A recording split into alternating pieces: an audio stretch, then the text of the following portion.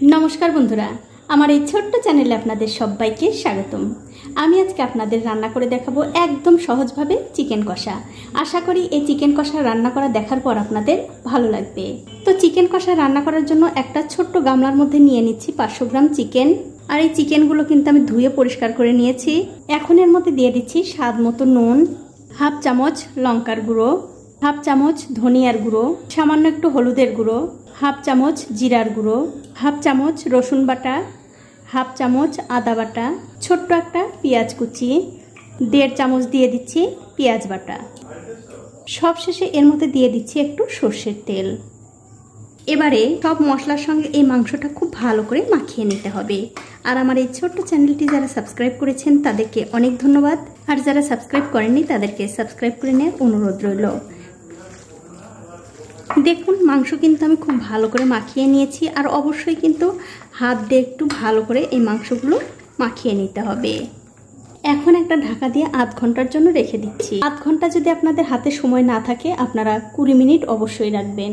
এখন দেখতে পাচ্ছেন একটা কড়াইতে আমি তেল গরম করতে দিয়েছি। তেলটা যখন ভালো করে গরম হয়ে যাবে, তখন এর মধ্যে দিতে হবে গোটা গরম মশলা। এখানে দিয়ে দিলাম দারচিনি, এলাচ, গোটা জিরা, তেজপাতা আর শুকনো লঙ্কা।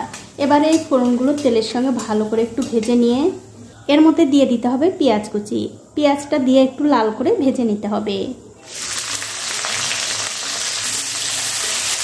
দেখুন, পেঁয়াজ কিন্তু আমি লাল করে ভেজে নিয়েছি। এখন এর মধ্যে দিয়ে দিচ্ছি পেঁয়াজ বাটা, এক চামচ রসুন বাটা আর এক চামচ দিয়ে দিলাম আদা বাটা। এবারে পেঁয়াজের সঙ্গে এই মশলাগুলো একটু ভালো করে ভেজে নিতে হবে। দেখুন, মশলাটা কিন্তু আমি দুই তিন মিনিট সময় ধরে খুব ভালো করে কষিয়ে নিয়েছি। এখন এর মধ্যে দিয়ে দিচ্ছি স্বাদ মতো নুন, হাফ চামচ লঙ্কার গুঁড়ো, একটুখানি হলুদের গুঁড়ো, হাফ চামচ ধনিয়ার গুঁড়ো আর হাফ চামচ দিয়ে দিলাম জিরার গুঁড়ো। এবারে এর মধ্যে দিয়ে দিচ্ছি সামান্য একটু জল যাতে মশলাটা কষানোর সময় পুড়ে না যায়। তারপর সব কিছু খুব ভালো করে মিশিয়ে দিয়ে এই মশলাটা আরও দুই থেকে তিন মিনিট কষিয়ে নিতে হবে। দেখুন, মশলা কিন্তু আমি খুব ভালো করে কষিয়ে নিয়েছি। মশলাটা কষাতে কষাতে যখন দেখবেন মশলা থেকে এরকম করে তেল ছাড়তে শুরু করেছে, তখন বুঝতে হবে মশলাটা ঠিকঠাক কষানো হয়ে গেছে। এখন আমি এর মধ্যে দিয়ে দিচ্ছি আগে থেকে মাখিয়ে রাখা সেই চিকেন। এবারে মশলার সঙ্গে এই চিকেনটা ভালো করে আট থেকে দশ মিনিট কষিয়ে নিতে হবে। তবে বন্ধুরা কষানোর সময় যাতে পুড়ে না যায়, তার জন্য মাংস মাখানোর সেই পাত্রটা ধুয়ে একটুখানি জল দিয়ে দিলাম। তারপর এই মাংসটা খুব ভালো করে কষিয়ে নিতে হবে।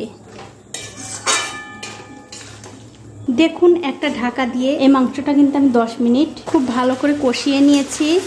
দেখতেই পাচ্ছেন, কষানো কিন্তু হয়ে গেছে। এখন আমি এর মধ্যে দিয়ে দিচ্ছি একটুখানি কাশ্মীরি লঙ্কার গুঁড়ো। এতে করে এই চিকেন কষার কালারটা আরও সুন্দর হবে। এবারে লঙ্কার গুঁড়োটা ভালো করে মিশিয়ে দিয়ে এর মধ্যে দিয়ে দেবো আমি সামান্য একটু গরম জল। জল কিন্তু বন্ধুরা খুব একটা বেশি দেয়া যাবে না। যেহেতু আমি এই মাংসটা কষা কষা করে রান্না করব, তার জন্য কিন্তু অল্প একটু জল দিয়ে দিলাম। এবারে জলের সঙ্গে মাংসটা ভালো করে মিশিয়ে দিয়ে আবারও ঢাকা দিয়ে গ্যাসের ফ্লেমটা বাড়িয়ে দিয়ে এই তরকারিটা আমি 10 মিনিট রান্না করে নেব। 10 মিনিট পর আমি ওপর থেকে ঢাকাটা তুলে নিচ্ছি। আর দেখুন, তরকারিটা কিন্তু প্রায় হয়েই গেছে।